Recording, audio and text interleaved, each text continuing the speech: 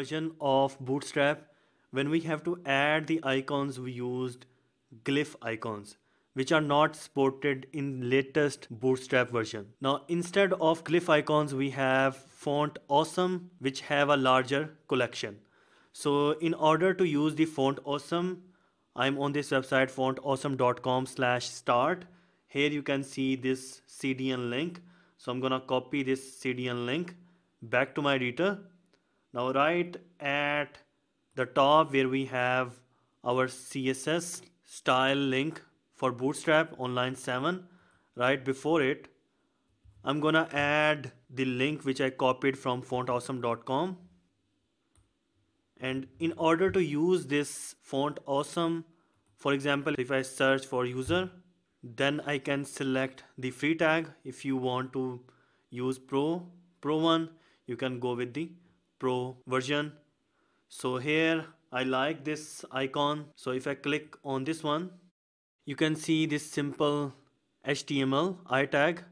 Just copy this I tag and then you can simply put that I tag in your code and you will have the icon.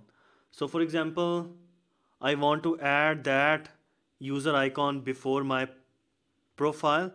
So I can add it right here so if I save this one and refresh my page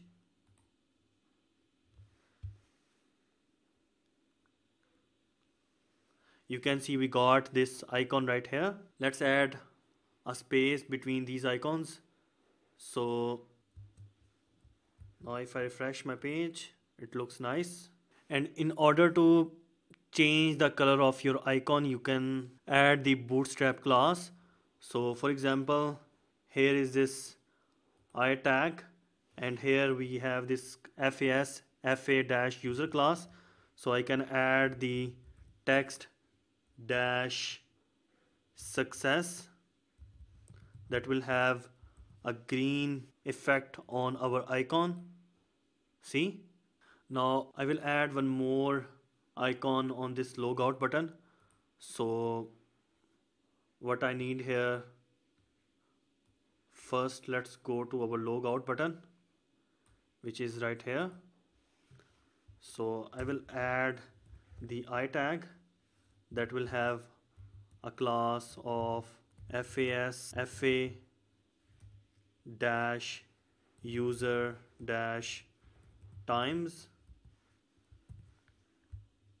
Then let's add the space. If I refresh my page you can see the logout button here. Let's make all of this color to be red one.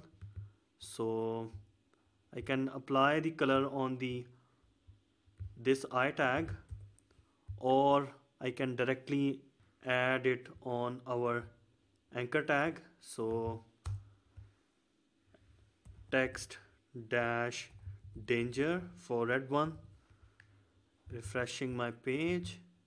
You can see this nice logout button right here.